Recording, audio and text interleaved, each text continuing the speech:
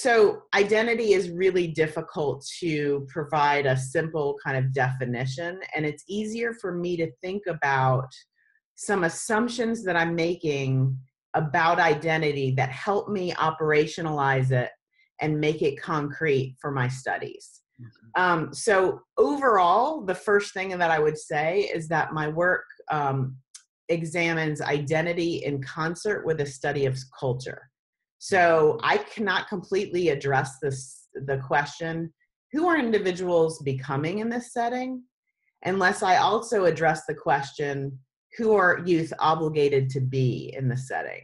Mm. And so I'm always looking at kind of individuals' performances in relation to what the setting demands, celebrates, and marginalizes. Mm. So those two things have to be kind of looking, I'm looking at those things together. So this idea that identity is studied in a, in coordination with culture, um, in doing that, I'm making certain assumptions. So let me kind of draw out those assumptions. So first, I make the assumption that people are formed in practice. So asking the question, like, what does it mean to be smart? What does it mean to be struggling? What does it mean to be a discipline problem, a genius?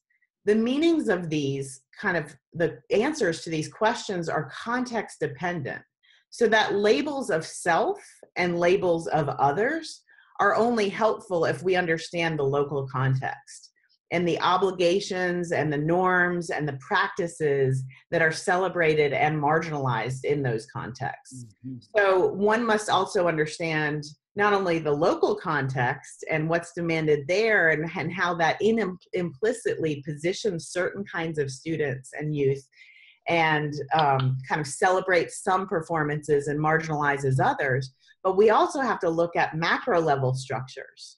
So this is another kind of um, aspect of the work. Um, so that's the first thing is people are formed in practice then a second assumption that I make is that um, identity outcomes of any given set of practices or any local context is often heavily shaped by larger social structures like race and class and gender.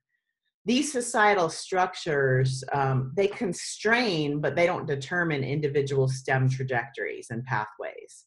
People have a choice in who they become, but that's not an unrestrained choice.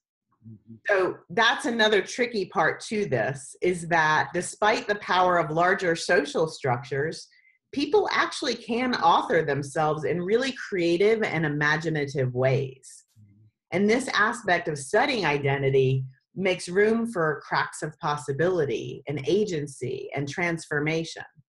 So, to summarize what I've said so far, these perspectives highlight the explanatory uh, potential of identity. Um, and that's why I love the construct. I keep saying to myself, and maybe I shouldn't say this on this interview, but it's mm-hmm. absolutely honest.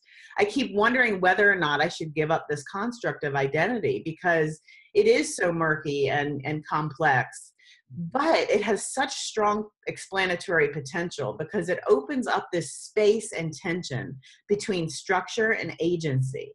However, I do kind of want to emphasize that identity isn't a final form achievement. It's not a static accomplishment. Mm-hmm. So, in many of the studies, I discuss this idea of identity work.